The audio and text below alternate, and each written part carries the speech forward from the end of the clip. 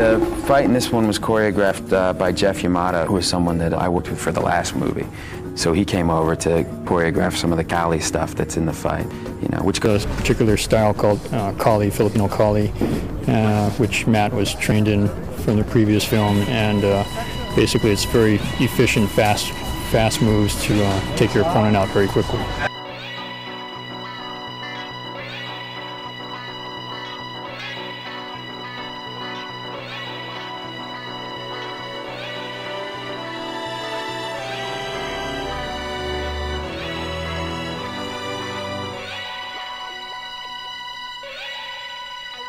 Yeah.